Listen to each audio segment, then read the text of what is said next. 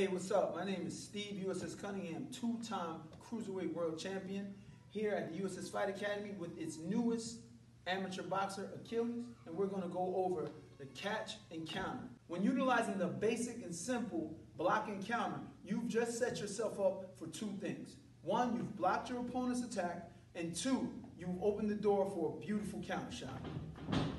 As your opponent attacks, there's the block. Now you see the opening for counter shot.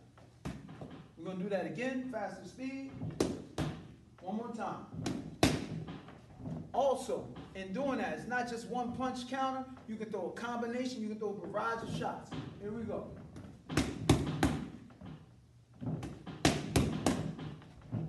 In that, you get to save yourself a headache and you get to score a clean open shot. When you block your opponent's shot and it slides off, he's wide open for the counter attack.